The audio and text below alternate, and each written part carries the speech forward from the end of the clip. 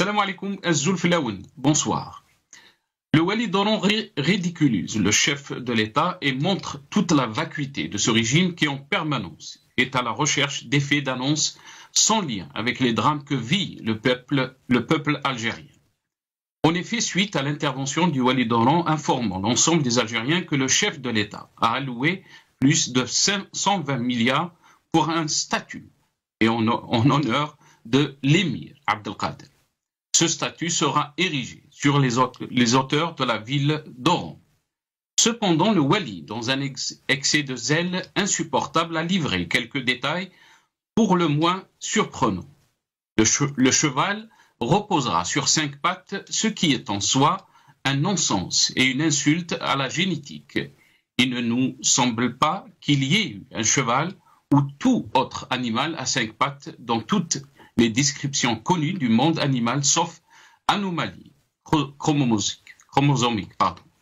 C'est en soi une hérésie et ça dénature même l'objet de ou l'homme que l'on veut honorer. Il ne s'est pas arrêté à ce cheval à cinq pattes puisqu'il a clairement affirmé que le glaive de l'émir Abdelkader serait équipé d'un laser pour montrer la Qibla aux musulmans. On a eu la mosquée de Bouteflika avec le plus haut minaret du monde et on aura la plus haute statue du monde avec Tebboune. Pour les hôpitaux, les centres de recherche et autres infrastructures stratégiques, les Algériens attendront. Ce manque de considération fait à l'émir Abdelkader montre ses besoins et toute l'indigence intellectuelle et culturelle de cet agent de l'État et de ses menteurs.